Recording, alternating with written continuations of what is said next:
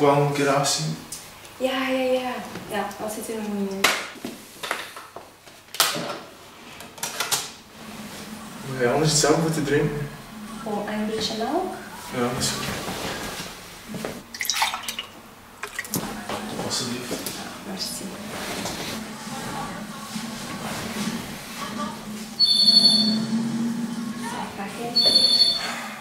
Jij? Die man van Proximus, ze ging mij weer naar abonnement als meer.